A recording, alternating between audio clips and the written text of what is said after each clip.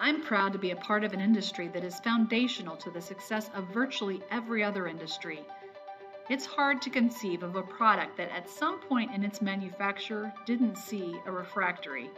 That's an inspiring thought.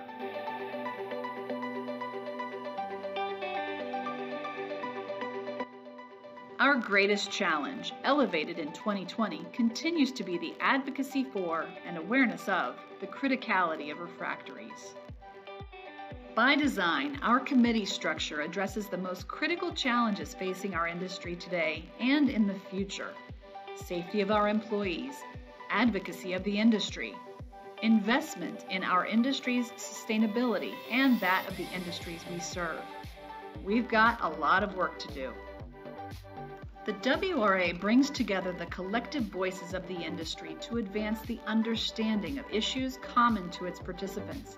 It's a forum for sharing such things as best practices in safety and relevant updates in the areas of trade, environmental regulation, and other industry trends.